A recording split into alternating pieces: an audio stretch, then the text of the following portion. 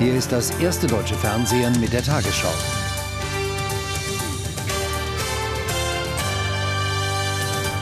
Guten Abend, meine Damen und Herren, ich begrüße Sie zur Tagesschau.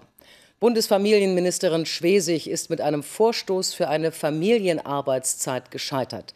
Schwesig hatte vorgeschlagen, dass Eltern kleiner Kinder künftig weniger arbeiten können. Der Staat würde dann einen Teil des Lohnausfalls ausgleichen. Die SPD-Politikerin verspricht sich von dem Modell eine bessere Vereinbarkeit von Familie und Beruf. Regierungssprecher Seibert machte allerdings deutlich, dass dieser Vorschlag in der laufenden Legislaturperiode keine Chance habe. Er sprach von einem persönlichen Debattenbeitrag Schwesigs. Mehr Zeit für die Kinder, ohne den beruflichen Anschluss zu verlieren, das wünschen sich viele Eltern. Die neue Familienministerin will nun zügig das bisherige Elterngeld so weit entwickeln, dass vor allem Teilzeitarbeit auch über einen längeren Zeitraum finanziell unterstützt wird. Das Elterngeld Plus ist im Koalitionsvertrag vereinbart. Dafür werden auch Gelder zur Verfügung gestellt. Das Elterngeld Plus ist das wichtige Instrument, um zu einer Familienarbeitszeit zu kommen, zu einer Arbeitszeit, in der Beruf und Familie vereinbar ist. In einem Interview geht Manuela Schwesig allerdings noch weiter und bringt für eine solche staatlich geförderte Familienarbeitszeit gleich die Zahl von 32 Wochenstunden ins Spiel. Die Union reagiert empört, auch wenn die Ministerin schon zurückrudert und den Vorschlag eher als langfristige Vision verstanden wissen will. Das sind neue Regulierungsvorschläge. Gerade die kleineren Unternehmen haben unglaubliche Probleme mit Bürokratie. Und das scheint wieder so ein Bürokratiemonstrum zu werden. Wir sollten die Betriebe in Ruhe lassen. Die können viel besser als wir, Staat, auf ihrer Ebene die Flexibilisierung organisieren. Auch die Finanzierung einer Familienarbeitszeit ist noch völlig ungeklärt zumal sie nicht auf Kosten anderer Aufgaben, wie zum Beispiel den Ausbau der Kitas, gehen darf. Und so fühlen sich auch in den Reihen der Koalition inzwischen manche wie in einem Kindergarten. Denn fast täglich prescht jemand mit missverständlichen und unabgestimmten Äußerungen vor und löst damit ebenso reflexhaft empörte Reaktionen beim Koalitionspartner aus. Längst macht deshalb im politischen Berlin das Wort vom Fehlstart der neuen Regierung die Runde. Unter die Lupe nehmen wir den Vorstoß von Familienministerin Schwesig auch auf tagesschau.de unter anderem in einem Kommentar. Die Diskussion über Sozialleistungen für Zuwanderer aus EU-Ländern flammt neu auf. Anlass ist ein Medienbericht über Forderungen der EU-Kommission. Danach hat sich Brüssel dafür ausgesprochen, dass bedürftige Zuwanderer in Deutschland leichter Hilfen wie Hartz IV bekommen. Die Kommission stellte inzwischen klar, es gehe ihr nicht um grundsätzliche Änderungen, die Ansprüche müssten aber jeweils im Einzelfall geprüft werden. Und darum geht es. Eine junge Rumänin lebt mit ihrem kleinen Kind seit mehr als drei Jahren in Deutschland. Sie hat nie hier gearbeitet und will Unterstützung vom Staat. Hartz-IV-Leistungen gebe es für sie nicht, bescheinigt das Jobcenter. Die Frau zog vor Gericht. Sozialleistungen auf diese Art zu beschränken, die EU-Kommission soll dagegen Druck gemacht haben. Deutschland solle den Zugang zu Hartz-IV-Bezügen bitteschön erleichtern, hieß es am Morgen in ersten Berichten. Stimmt so nicht, stellt eine Sprecherin am Mittag klar. Also uh, ich habe die Presseberichte auch gesehen und ich kann Ihnen versichern, dass die Annahme, die Kommission wolle Deutschland dazu drängen, uh, allen arbeitslosen EU-Bürgern, die ins Land kommen, Sozialhilfe zu gewähren, dass diese Berichte total falsch sind. Allerdings in diesem Papier macht die Kommission klar, arbeitslosen EU-Bürgern dürften Sozialleistungen nicht automatisch verweigert werden. Konkrete Einzelfallprüfungen seien besser. Die CSU warnt jedoch generell davor, die Hartz-IV-Gesetze zu lockern. Das würde die Solidarität überfordern, würde unsere Sozialsysteme unterminieren und würde dem europäischen Gedanken einen großen Schaden zufügen. Ein Grundsatzurteil zu diesem Thema wird der Europäische Gerichtshof frühestens Ende des Jahres fällen. Es ist nicht so, dass die Kommission arbeitslosen EU-Bürgern generell den Zugang zum Hartz-IV-System erlauben will. Dass sie das heute noch mal so klar sagen musste und bereits kleinste Formulierungen in ihrer Stellungnahme solche Wellen schlagen, zeigt aber, wie umstritten das Thema Zuwanderung innerhalb Europas immer noch ist. Im vergangenen Jahr haben so viele Menschen in Deutschland Asyl beantragt wie seit 14 Jahren nicht mehr. 127.000 Flüchtlinge stellten nach Angaben des Bundesinnenministeriums einen Antrag. Viele von ihnen kamen aus Tschetschenien, Syrien, Afghanistan und aus mehreren Balkanländern. Das Ministerium erklärte, Ziel sei es, die Asylverfahren zu beschleunigen. Die Bundestagsfraktion der Linkspartei hat bei einer Klausurtagung ihre Ziele für die Oppositionsarbeit abgesteckt. Sie will die Regierung vor allem mit sozialpolitischen Vorstößen unter Druck setzen. Parteiinternen Streit gibt es in der Europapolitik. Im Entwurf für das Europawahlprogramm wird die EU scharf kritisiert auf Betreiben des linken Parteiflügels um Sarah Wagenknecht. Die Führungsspitze bemühte sich heute, die Wogen zu glätten. Gregor Gysi erklärt gerne, wie er die Welt so sieht. Er ist zwar Fraktionschef der Linken, trotzdem kommt es immer wieder vor, dass Teile von Fraktion und Partei völlig anderer Meinung sind als er. In Sachen Europapolitik hat er die beiden Vorsitzenden zwar auf seiner Seite, aber die Basis hat in den Programmentwurf auch solche Sätze reingeschrieben. Die EU eine neoliberale, militaristische und weithin undemokratische Macht. Insgesamt ist der Programmentwurf proeuropäisch. Das ist er auch. Und dann habe ich einen Satz kritisiert, ja, das stimmt. Und, aber ich glaube, da wird es auch angemessene Veränderungen geben. Auch ohne dass Gysi öffentlich auf den Tisch haut? Na klar, sagt der Vorsitzende, schließlich sei beim anstehenden Parteitag der Reformerflügel stark vertreten. Sicher äh, vertrauen wir hier auf ähm, die Vernunft der Delegierten und noch niemals ist ein Leitantrag des Parteivorstandes aus dem Parteitag so herausgekommen, wie er hineingegangen ist. Die strittigen Passagen hatte Vizechefin Wagenknecht bei der Klausurtagung nochmals verteidigt. Dabei ging es um die anstehenden drei Landtagswahlen im Osten, vor allem aber um die Europawahl. Wir kritisieren die EU-Kommission dort, wo sie undemokratisch, unsozial ähm, und ähm, eher kriegerische ähm, Politik macht. Aber wir setzen uns ein für ein soziales, friedliches und demokratisches Europa. Was die ganz Linken bei den Linken da in den Entwurf geschrieben haben, wird der Parteitag wieder rausstreichen hofft die Führungsspitze. Dass es so kommt, ist allerdings längst nicht ausgemacht. Bleiben die umstrittenen Passagen drin, wäre das ein Rückschlag für all diejenigen in der Partei, die zeitnah eine Koalition mit SPD und Grünen anstreben. Der Vorschlag der EU-Kommission, die Umstellung auf das Zahlungssystem SEPA um sechs Monate zu verschieben, stößt auf Kritik.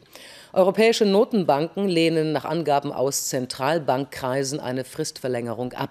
Das Bundesfinanzministerium erklärte, ein Aufschub könne die Umstellung zusätzlich erschweren. Deutschland sei für die Einführung zum 1. Februar gewappnet, wolle die Lage in anderen Ländern aber berücksichtigen.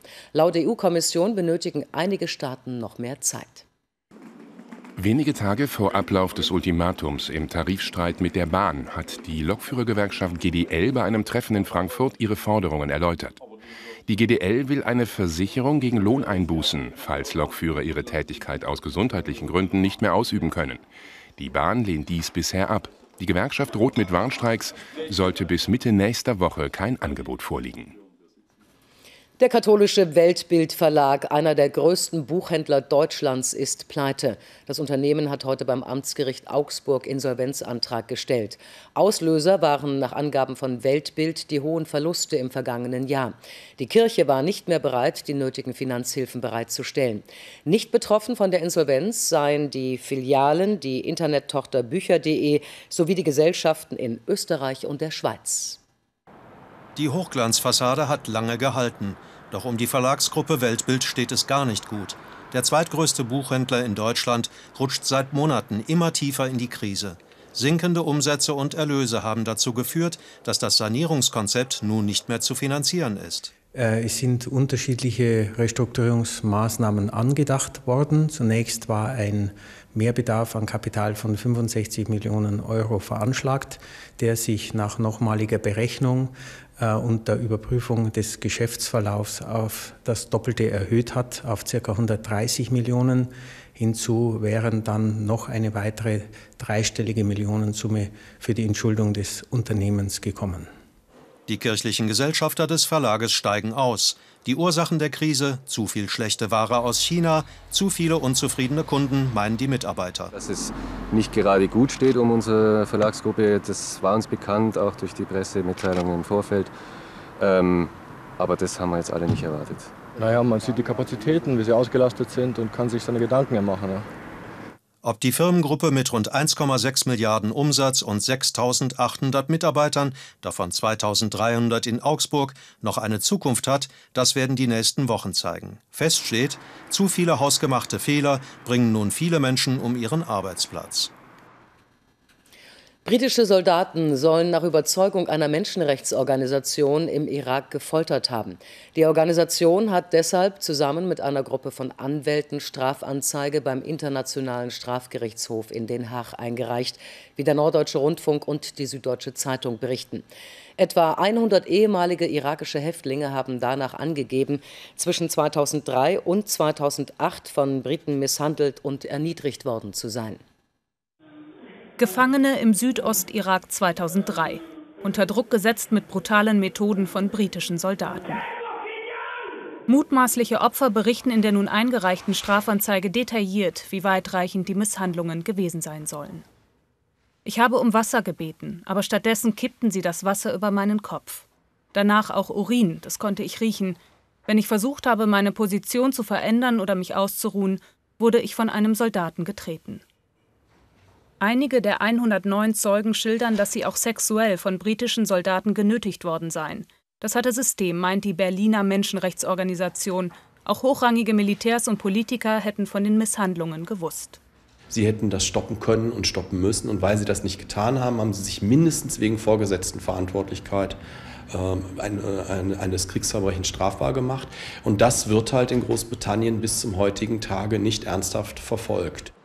Das britische Verteidigungsministerium hält die Strafanzeige für unnötig, unter anderem weil eine eigene Kommission alle Fälle im Irak untersuchen würde. Während wir die Vermutung zurückweisen, dass die Streitkräfte des Vereinigten Königreichs systematisch Gefangene gefoltert haben, bedauert das Vereinigte Königreich selbstverständlich die geringe Anzahl von Fällen, bei denen Misshandlungen stattgefunden haben, und hat die Opfer und ihre Familien entschädigt. Bislang ist nur ein britischer Soldat von einem Militärgericht wegen Kriegsverbrechen im Irak verurteilt worden.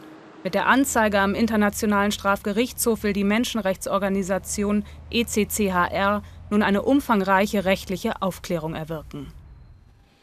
Nach anhaltenden Kämpfen zwischen muslimischen Rebellen und christlichen Milizen in der Zentralafrikanischen Republik ist Übergangspräsident Jotodia zurückgetreten. Er war im März 2013 durch einen Putsch an die Macht gelangt. Seitdem herrschen in dem Land anarchische Zustände. Mehr als 1000 Menschen wurden getötet, rund eine Million Zentralafrikaner sind auf der Flucht. Nach dem Rücktritt Jotodias herrscht nun ein Machtvakuum. Es ist vorbei, es ist vorbei, rufen die Menschen in Bangui, der Hauptstadt der Zentralafrikanischen Republik, als die Nachricht vom Rücktritt von Präsident Jotodia bekannt wird. Auch in den Flüchtlingslagern Jubel, aber auch begründete Skepsis. Die Rebellen, die Chotodia an die Macht brachten, haben immer noch ihre Waffen. Wer will denn für Sicherheit sorgen? Wer wird verhindern, dass die Kämpfe weitergehen? In der Hauptstadt Bangui patrouillieren Panzer. Niemand weiß genau, wie das Machtvakuum zu füllen ist. Präsident Chododia steht unter gewaltigem Druck, als ihm auf einem Gipfeltreffen der afrikanischen Nachbarstaaten heute vorgehalten wird, er habe die Lage in seinem Land nicht mehr unter Kontrolle. Am Mittag erklärt er schließlich seinen Rücktritt. Einige Nachbarn der Zentralafrikanischen Republik sehen selbst krisengeschüttelt und fürchten ein Übergreifen der Kämpfe auf ihre Länder. Die Zentralafrikanische Republik ist fast doppelt so groß wie Deutschland, hat aber nur viereinhalb Millionen Einwohner, davon sind 50 Prozent Christen, 15 Prozent Muslime. Mithilfe der muslimischen Rebellenallianz Seleka hatte sich Chotodia vor zehn Monaten an die Macht geputscht, seine Kämpfe aber hatte er am Schluss kaum noch unter Kontrolle. Daraufhin bewaffnen sich Menschen in den christlichen Gegenden. Häuser werden in Brand gesteckt, Geschäfte geplündert, jeder fünfte Einwohner des Landes muss fliehen. Mehr als 5000 Soldaten aus Frankreich und afrikanischen Nachbarländern können die Gewalt zwar eindämmen, aber nicht stoppen. Auf dem von französischen Eliteeinheiten gesicherten Flughafen der Hauptstadt haben sich fast 500.000 Menschen geflüchtet. Es gibt keine Toiletten und so gut wie kein Wasser. Wir haben keine Lebensmittel, keine Zelte. Eigentlich fehlt es an allem. Um die Franzosen zumindest am Flughafen zu entlasten, erwägt die Europäische Union die Entsendung von bis zu 1000 Soldaten in die Zentralafrikanische Republik. Er galt als bürgernaher Streiter für Grundrechte und Verfassung, der ehemalige Vizepräsident des Bundesverfassungsgerichts Winfried Hassemer. Jetzt ist er im Alter von 73 Jahren gestorben. Hassemer vertrat bei strafrechtlichen Entscheidungen liberale Standpunkte und war stets bemüht, komplizierte Verfassungsfragen allgemeinverständlich darzustellen. 2003 war er maßgeblich an der Einstellung des ersten NPD-Verbotsverfahrens beteiligt. Und nun die Wetteraussichten für morgen Samstag, den 11. Januar. Morgen haben wir es mit Tiefdruck zu tun, am Sonntag mit dem Hoch, das Richtung Alpen zieht. Mit ihm beruhigt sich dann das Wetter in Deutschland. Die meisten Wolken liegen in der Nacht über dem Norden, in den Morgenstunden kommen im Südwesten und an der Nordsee Regenwolken auf. Im Laufe des Tages breitet sich von der Nordsee Regen bis zu den Mittelgebirgen aus. Ein weiteres Regengebiet überquert den Süden. In der Mitte zeigt sich die Sonne gebietsweise für längere Zeit. Im Süden weht der Wind schwach bis mäßig, im Norden zeitweise frisch bis stark. Dort können stürmische Böen auftreten, an den Küsten schwere Sturmböen. In der Nacht 6 Grad an der Nordsee, minus 4 Grad an den Alpen. Am Tag 3 Grad im Vogtland und 11 Grad im Breisgau. Die Aussichten. Am Sonntag scheint vielerorts die Sonne, auch am Montag zunächst noch Sonne neben Wolken und Nebel. Später kommt im Westen und Nordwesten hier und da Regen auf. Am Dienstag viele Wolken und es regnet gebietsweise. Ingo Zamperoni ist um 21.45 Uhr für Sie da. Seine Tagesthemen Schulstreit in Baden-Württemberg, Kirchen gegen sexuelle Vielfalt als Lernziel und die Leiden der Iraker. Britische Soldaten sollen systematisch gefoltert haben. Ich wünsche Ihnen noch einen schönen Abend.